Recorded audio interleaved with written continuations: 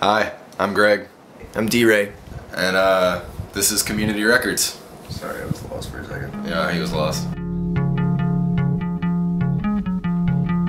The first one was in 2008, and the idea in 2008 was basically just to do a New Orleans punk ska festival. And I don't think we had any idea that we would do it more than once.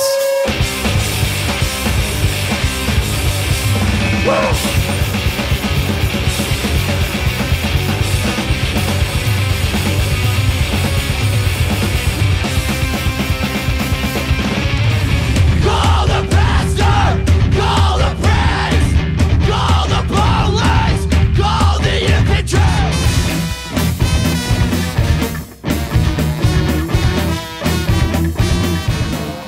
bro, Mitch Doobie.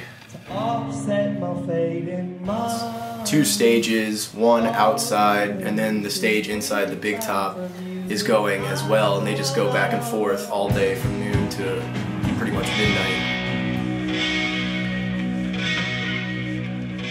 To receive, but you got yours and all you know.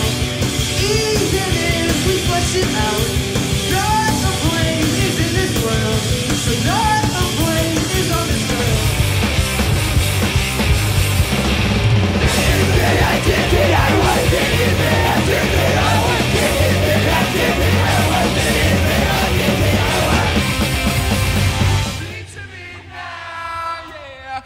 Won't you put your guns in?